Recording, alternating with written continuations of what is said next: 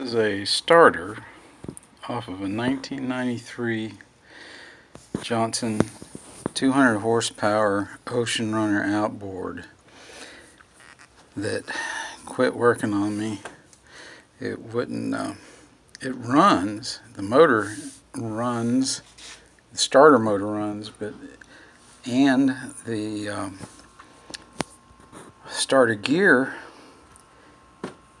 engages in the flywheel just fine, but it just sits there. The shaft, the, the motor spins, and this is in the flywheel, but it does not turn the starter gear in the flywheel. It just sits there and goes, Meow.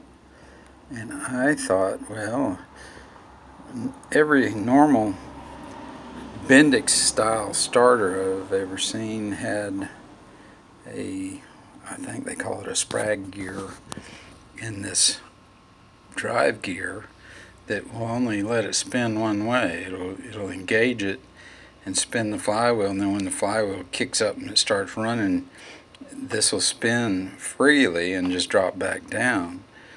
Well, I looked at this thing and I took it apart and it it was all greasy and messed up and it looked to me like it had come apart.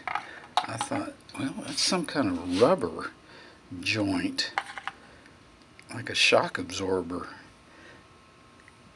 When it engages to kind of not jam the flywheel and the engine so hard or something. but and I looked all over the internet and they show the picture of these like in one piece.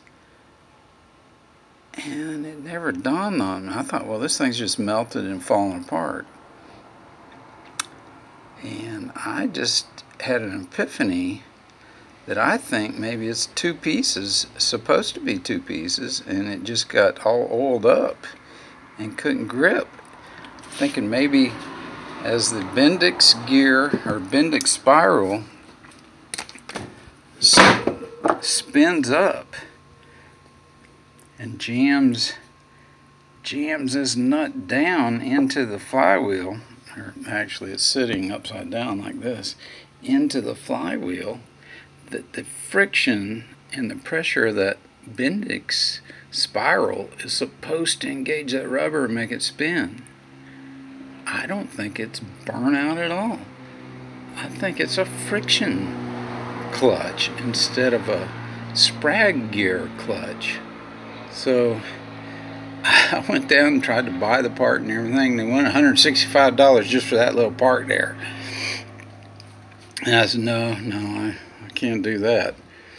I think you can get like a whole starter on Amazon, a Chinese one, including everything for like $65. So anyway, I was getting ready to do that and I just kept looking at that thing and the closer I looked at it, the less it looked like it was burned up. It looked like it was made that way. And I said, how in the hell? And then it dawned on me that I had been greasing that thing, the gear, and it probably got grease down in there. So if that's true, I'm, I'm going to clean it up really good with some degreaser there. Put it all back together in there and see if it works. And we'll get back to you and let you know. Here's the motor. I got it back on and yes, it works perfectly. I just had too much grease on it. Listen.